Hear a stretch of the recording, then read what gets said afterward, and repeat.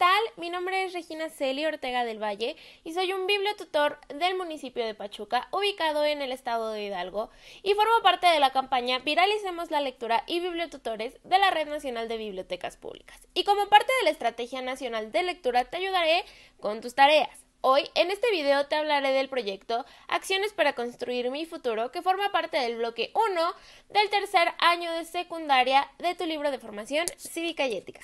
En la escuela, para este tema, tus profesores esperan que aprendas a reconocer tus habilidades, tus potencialidades y tus aspiraciones. Y para ayudarte con ello, te pondré un ejemplo.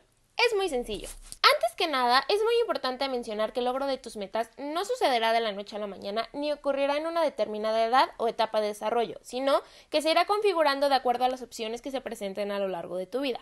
Por ello, es muy importante que sepas identificar quién eras, quién eres ahora y quién te gustaría ser en un futuro.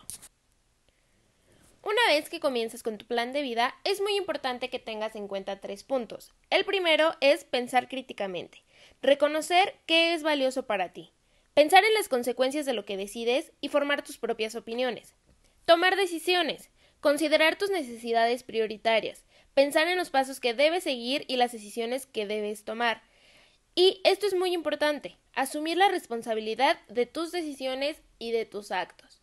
Y por último, ejercer tu autonomía, expresar lo que piensas y sientes, poner tus aspiraciones en una balanza e identificar las que consideres prioritarias.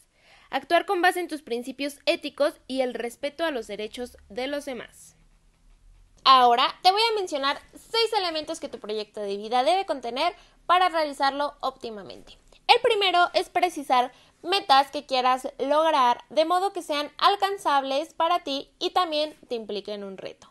El número dos es desglosar estas metas en acciones precisas que te ayuden a identificar qué es lo que tienes que hacer. El número tres es establecer tiempos, es decir, tu proyecto de vida será a corto plazo, a mediano plazo o a largo plazo. El número cuatro es identificar tus capacidades y cómo estas capacidades te pueden apoyar a cumplir tus objetivos.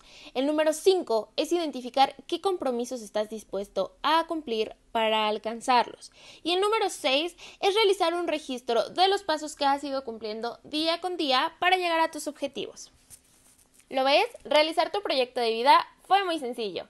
Muchas gracias por seguirnos en estos videos. Yo soy tu bibliotutor Regina Celia Ortega del Valle y nos vemos muy pronto. Gobierno de México.